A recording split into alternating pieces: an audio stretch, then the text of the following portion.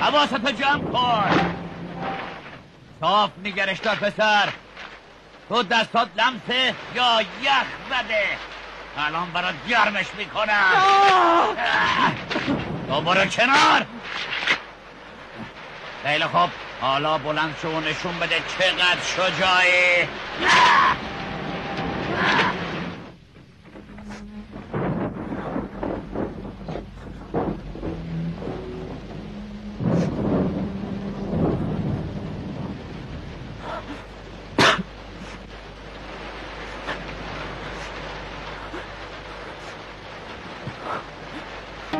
ببخشین آقا.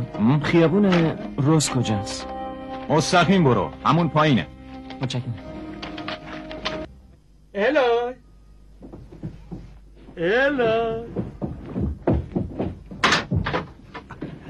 گاری رو حاضر کردم. فقط باید صبر کنیم تا تاریک بشه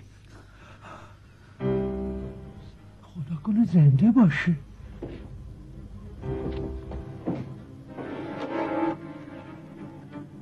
چی کار کردی؟ این که بیهوشه؟ تقصیر من نبود.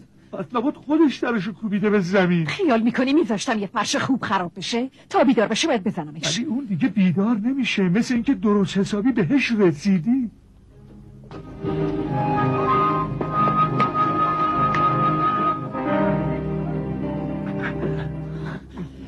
برای دوبله یه, یه فیلم فرق نمی‌کنه چه سریال باشه چه سینمایی باشه. یه مقدماتی داره که باید انجام بشه.